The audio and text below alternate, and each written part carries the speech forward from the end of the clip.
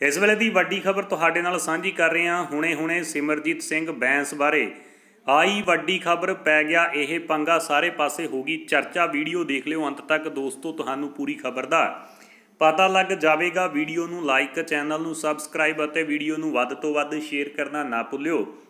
ਸਰਕਾਰ ਵੱਲੋਂ ਵਿਆਹ ਸਮਾਗਮ ਅਤੇ ਅੰਤਮ ਸੰਸਕਾਰ ਵਿੱਚ 20 ਵਿਅਕਤੀਆਂ ਦੀ ਗਿਣਤੀ ਨੂੰ ਘਟਾ ਕੇ 10 ਕਰ ਦਿੱਤਾ ਗਿਆ। ਜਿਸ ਤੋਂ ਬਾਅਦ ਹੁਣ ਸਿਮਰਜੀਤ ਸਿੰਘ ਬੈਂਸ ਬਾਰੇ ਇੱਕ ਵੱਡੀ ਖਬਰ ਸਾਹਮਣੇ ਆਈ ਹੈ ਜਿੱਥੇ ਇਹ ਪੰਗਾ ਪੈ ਗਿਆ ਜਿਸ ਦੀ ਚਾਰੇ ਪਾਸੇ ਚਰਚਾ ਹੋ ਰਹੀ ਆ। ਹੁਣ ਲੁਧਿਆਣਾ ਵਿੱਚ ਸਥਾਨਕ ਜਨਤਾ ਨਗਰ ਦੇ ਵਿੱਚ ਲੋਕ ਇਨਸਾਫ ਪਾਰਟੀ ਦੇ ਮੁਖੀ ਅਤੇ ਹਲਕਾ ਆਤਮ ਨਗਰ ਤੋਂ ਵਿਧਾਇਕ ਸਿਮਰਜੀਤ ਸਿੰਘ ਬੈਂਸ ਅਤੇ ਯੂਥ ਅਕਾਲੀ ਦਲ ਦੇ ਜ਼ਿਲ੍ਹਾ ਪ੍ਰਧਾਨ ਗੁਰਦੀਪ ਸਿੰਘ ਗੋਛਾ ਦੀ ਆਪਸ ਦੇ ਵਿੱਚ ਅੱਜ ਹਿੰਸਕ ਝੜਪ ਹੋਣ ਦੀ ਖਬਰ ਸਾਹਮਣੇ ਆਈ ਹੈ ਜਿੱਥੇ ਸਰਕਾਰ ਦੇ ਵੱਲੋਂ ਇਕੱਠ ਕਰਨ ਦੇ ਉੱਪਰ ਮਨਾ ਕੀਤਾ ਗਿਆ। ਉੱਥੇ ਹੀ ਲੁਧਿਆਣਾ ਵਿੱਚ ਕੋਟ ਮੰਗਲ ਸਿੰਘ ਇਲਾਕੇ ਵਿੱਚ ਸੜਕ ਦੇ ਕਿਨਾਰੇ ਨਿਰਮਾਣ ਦਾ ਆਯੋਜਿਤ ਕੀਤਾ ਗਿਆ ਸੀ, ਜਿਸ ਵਿੱਚ ਯੂਥ ਅਕਾਲੀ ਦਲ ਦੇ ਆਗੂ ਦੀਪ ਸਿੰਘ ਗੋਚਾ ਅਤੇ ਲੋਕ ਇਨਸਾਫ ਪਾਰਟੀ ਦੇ ਵਿਧਾਇਕ ਸਿਮਰਜੀਤ ਸਿੰਘ ਬੈਂਸ ਆਪਣੇ ਸਮਰਥਕਾਂ ਨਾਲ ਸ਼ਾਮਲ ਹੋਏ। ਇਸ ਮੌਕੇ ਦੋਹਾਂ ਪਾਰਟੀਆਂ ਵਿਚਕਾਰ ਕਿਸੇ ਗੱਲ ਨੂੰ ਲੈ ਕੇ ਬਹਿਸ ਹੋਣ ਦਾ ਮਾਮਲਾ ਇੰਨਾ ਵੱਧ ਗਿਆ ਕਿ ਗੱਲ ਹੱਥੋਂ ਪਾਈ ਤੇ ਪਹੁੰਚ ਗਈ। ਇਸ ਘਟਨਾ ਨੂੰ ਖੂਬ